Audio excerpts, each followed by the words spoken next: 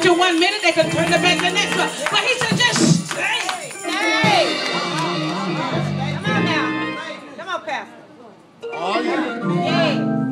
Thank you. God comforts Elijah by letting him know he wasn't alone in verse 18. All right now. He said, Yet have I left me 7,000. Yeah, come on. See, the very moment the devil wants you to think that you're the only one going through. Come on. Oh, if they only knew just how sick I was, they only knew just what I went through in my marriage, if they only knew what I go through with my children. But you're not alone.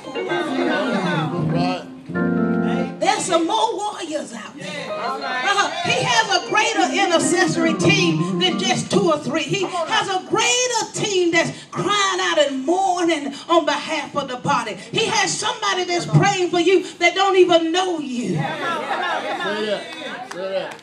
Glory to God. Somebody's assignment, somebody has an assignment just to pray for single women. Come on now.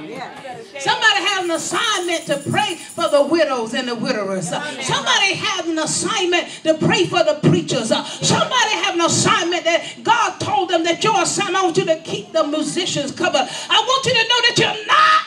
Come on. Not alone. You're not alone. No. That brings us to our lesson today. Elijah means God of Jehovah. Elisha means God of supplication. Right. means to make uh, a humble request to God.